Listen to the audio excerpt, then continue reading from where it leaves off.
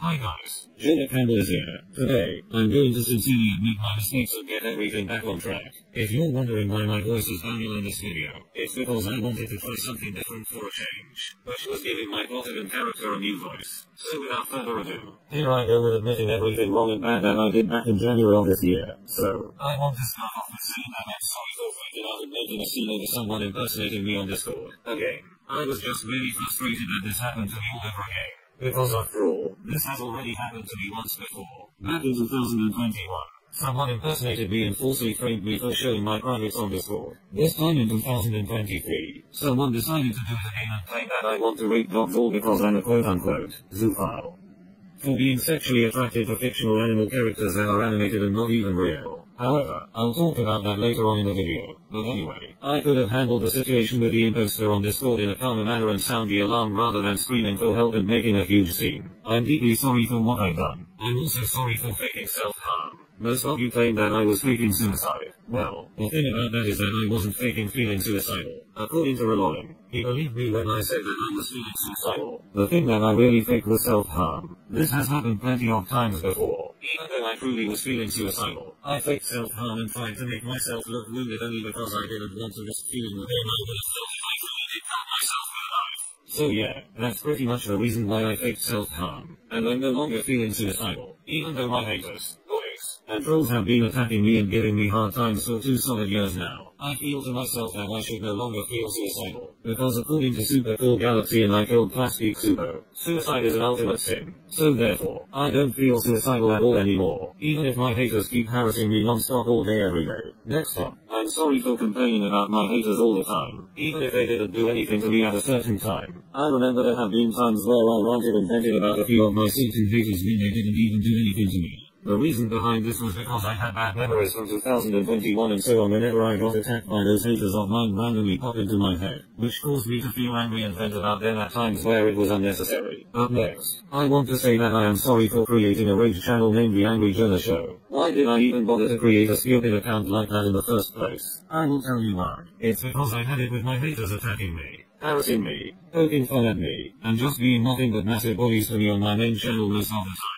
If there would be a time in the future when I have one of my angry moments and rant about my haters in such an extreme way, that's when I transfer over to my rage channel, The Angry Jonah Show, and have my angry meltdowns there. And that's when my haters can poke fun at me all they want. According to most users, it's not okay to create a rage channel for certain reasons. So therefore, The Angry Jonah Show was deleted by me. Next, I'm sorry for getting so worked up about my haters to the point of threatening them with death. Like Andrew Orozco has told me before, I'm no longer a minor, so if the police or the FBI found out about the situation with me sending death threats to my haters, they wouldn't go so easy on me considering the fact that I'm now legally an adult at the age of 18. I sincerely told Andrew Orozco and others that I wouldn't send death threats anymore since I'm now a legal adult.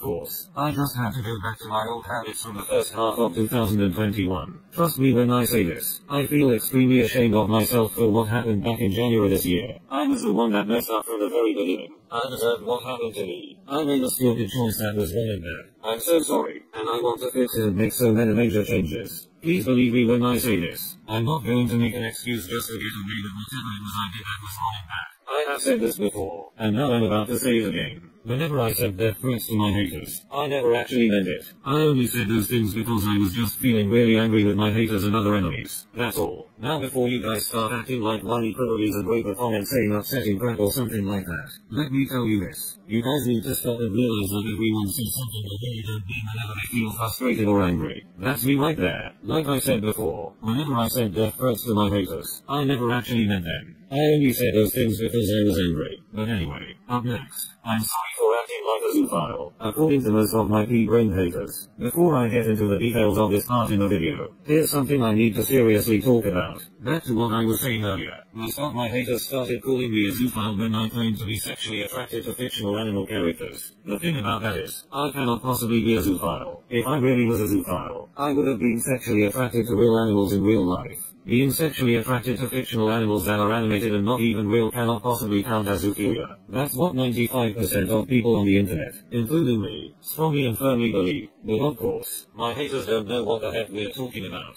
They have said to me before that I called the fictional character card as an excuse to not be described as a freaking zoophile. God, those lying kids think they know everything. They also think they are cool and better than me, when they're not for all the shit they put me through ever since the beginning of 2021. And before I wrap this up, let me just say to my haters that they are not what they call themselves. Yiddishers. First of all, my haters are not Yiddishers. They're stupid nut jobs due to all the info crap they've done to me. Second of all, Yiddish isn't even a word. It's a made-up dumb fairy tale word made up by those spoiled brats on different sections of the internet who think they're cool and grown up, when they obviously aren't. End of story. Period. But anyway, long story short, I'm sorry for acting like a zoophile and revealing my sexual crushes on fictional animal characters last year back in 2022. I should have realized sooner that it would have been too much information for a lot of people. Mostly those in the fine community. I decided that I'm no longer sexually attracted to the aforementioned characters that I put on that list of mine. Just in case if sexual attraction towards fictional animal characters really does count as zoophilia. Please note that I still have crushes on them, but not in a sexual way. Another thing about me acting like a zoophile. I'm sorry for showing all of you an image of Maid Marian from Robin Hood taking off her top. That was a bad idea for me to do so. Even though most see this next image I'm about to mention. Chase the stick figure exposed me for showing it on Twitter. I also want to apologize to whoever saw it, including Chase, for showing an image on my Twitter page of Danny and Sawyer from Cats Don't Dance having sex in the shower. Like with the other image, it was a bad idea for me to do that. Last, but certainly not least, I also want to deeply apologize for taking bubble guppies in the Saban's way to the extreme. For a long time now, people have criticized me for treating the aforementioned shows, including the former, like they were Satan. Since I don't make grounded videos anymore, I decided to not take bubble guppies, as well as the Sabans, too seriously anymore. Please note that I still hate both of those TV shows. No matter what happens, I will always hate both bubble guppies and the Sabans so much with a flaming passion, whether I take them seriously or not. Well guys, I believe those are all the mistakes of mine that I needed to admit. Before we end the video, I want to say a few things before I close. Please note that I'm going to say all of this in the calmest and most polite way possible. I need everyone to know that I never said I wanted to rape dogs in January this year. Most of you probably don't believe me, but I'm really serious when I say this. I'm telling the truth. Honest. I swear. I never said that I wanted to rape dogs. Someone decided to impersonate me on Discord. Again. And frame me for wanting to rape dogs. I bet it's another one of those haters of mine who called me a zoophile because I was sexually attracted to fictional animal characters. I swear I didn't say that. Because I'm not that criminal type of person. Honest. Once again, I freaked out about it because this is the second time it's happened. I screamed for help and made a huge scene. But nobody wanted to help me. So that's why I had to go on another rampage. And my haters, if you're watching this video, I'm not asking for forgiveness. Let me repeat that. I'm not asking anyone who's watching this video to forgive me. I just want everyone to understand. I'm telling everyone my side of the story of what happened between us back in January of this year. My haters, I'm sorry if I hurt you, okay, but I want you to understand. You hurt me, and like I mentioned before, I'm autistic, which is something you guys don't seem to understand. More respect. I have autism and anger issues, which is why it's so hard for me to handle hate and criticism, especially considering the fact that all of my haters have been And like I said, I'm sorry if I hurt you. I want you to understand. You hurt me, and I'm not asking anyone to forgive me. I just want you to understand, as I'm explaining my side of the story behind this whole mess. And no, this apology is not fake. It truly is real and sincere, based on how long it is, and how much words I've been speaking so far. Besides, apologies are never meant to brainwash anyone. I'm pretty sure this is something we can all agree on. Apologies are never meant to brainwash anyone. Am I right guys? But anyway guys, this is all I would like to say for this video. I'm pretty sure I admitted everything that needed to be said. Please let me know in the comments if there's a leftover wrongdoing of mine that I forgot to admit. Until next time, this is Jonah Campbell, signing off for now. Bye guys. Peace out.